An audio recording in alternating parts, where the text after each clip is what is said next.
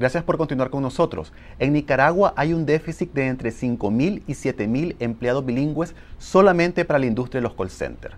Para hablarnos de esta demanda nos acompañan hoy en Cuentas Claras Rufo Torres, director del Departamento de Idiomas de Kaiser University, y Douglas Arróliga, profesor del de ese departamento. Muchas gracias Rufo por acompañarnos hoy en el programa, Douglas. Eh, estos son datos bastante elocuentes, es decir, Nicaragua es un país donde todavía eh, el idioma inglés no nos hace competitivos. Efectivamente, eh, si nosotros vemos el impacto que tiene por ejemplo, la creciente demanda eh, de compañías que utilizan el idioma inglés como referencia para hacer negocios, específicamente en el área de call centers, hay 24, 24 compañías que están, siendo, están haciéndose presentes en Nicaragua y únicamente tenemos contratados 6.000 empleados, a diferencia de otras naciones en las cuales, eh, como Guatemala y Costa Rica, en las cuales ya su demanda laboral anda por 24.000 puestos de trabajo. Si nosotros nos vamos específicamente a los números per cápita, nos vamos a dar cuenta que nosotros producimos 60 millones de dólares al año y países como Guatemala ya están produciendo aproximadamente eh, al mes de al año 2014 275 eh, millones de dólares. Estamos hablando solo en industrias de call Solo en industrias de call center.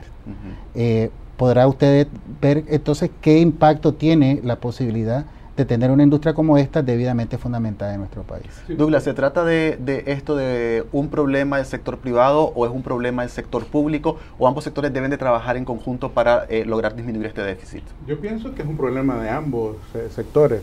Eh, obviamente la mayor parte de los estudiantes van a colegios nacionales, ¿verdad? Sin embargo, la, parte privada también tiene la obligación, digo yo, ¿verdad? Y, y, de ver esta necesidad, ¿verdad? Y, tratar de, de, paliarla, ¿no? Eh, eh, estamos hablando de, qué impacto tiene. Eh, realmente a veces se pierde em, oportunidades de empleo ¿verdad? e inversión acá en Nicaragua porque no hay suficientes personas que hablen inglés al nivel que se requiere para ciertos empleos, como por ejemplo los call centers. ¿verdad? entonces se van a otros países y, los perdemos nosotros. Entonces, la, necesidad de, darle impulso a la enseñanza del inglés tiene que ser tanto una visión de nación, pues, de una parte del Estado, como también de la parte de, privada.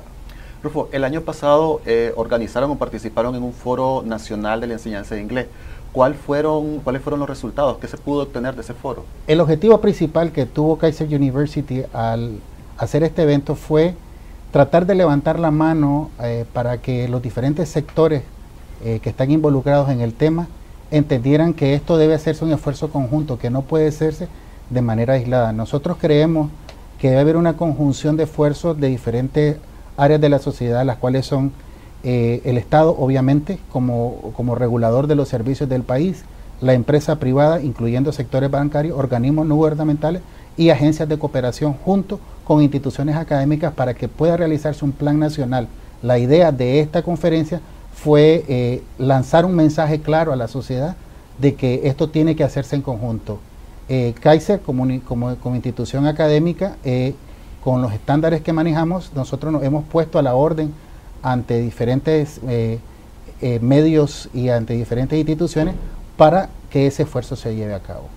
Un joven que quiere conseguir un trabajo en Nicaragua y que mira los call centers como una opción, dicen, bueno, eh, yo cuánto tengo que invertir para poder aprender inglés, cuánto, cuánto tiempo me va, me va, a llevar esto para luego presentar mi currículum y llegar a un call center y decir, bueno, estoy preparado para este trabajo.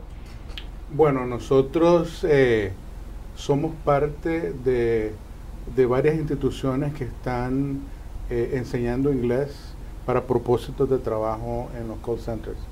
Eh, también participamos en la elaboración de un currículum que pudiera eh, entrenar a este tipo de personas y anda alrededor de los mil dólares, lo que costaría a una persona el poder llevar este programa completo que tiene dos, dos niveles, intermedio y avanzado y eh, alrededor de unos 5 a 6 meses.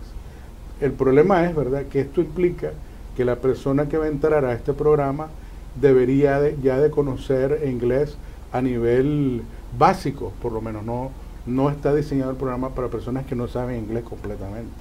Estamos tratando de, de que esto pueda suceder, pero obviamente esto llevaría a que el programa fuera más largo y los call centers necesitan ya agentes para poder trabajar en, en sus, eh, en sus call centers. ¿no? Estamos hablando en este caso específicamente de la industria del call center, pero ¿qué pasa fuera, fuera, fuera de este sector? Por ejemplo, en el sector de las finanzas, en el sector del comercio internacional. ¿Nicaragua también está preparada para hacer frente a la demanda que establece la globalización? No. Eh, por ejemplo, hay, hay otros sectores en los cuales también existe una gran oportunidad de desarrollo, como por ejemplo el área de turismo y hotelería, en la cual existe un, déficit completo de maniobra calificada que domine el idioma inglés. Eh, está comprobado, por ejemplo, que un, profesional graduado de una universidad, su capacidad, su oportunidad de lograr un mejor empleo e incluso poder emplearse se cuatriplican al momento en que maneja un idioma. Nosotros tenemos como experiencia particular el caso de nuestra institución, donde el 95% de las personas que son graduadas de Kaiser prácticamente ya tienen una oportunidad de trabajo antes de graduarse para nosotros fue eh, algo... Es decir, que el idioma inglés es básico para poder establecer un futuro al menos a mediano plazo. En nuestro medio sí. Pero no solamente, ¿no? sino el poder acceder a buenos salarios o a salarios competitivos. El que habla inglés, como decía el ingeniero, entonces puede acceder a, a, un, a, un, a un mejor salario dos, tres veces, ¿verdad? Que la persona que no habla inglés. Entonces, eh, un graduado de Kaiser, por ejemplo, tiene mejores oportunidades que un graduado de otra universidad donde el, el, inglés no es la lengua de trabajo.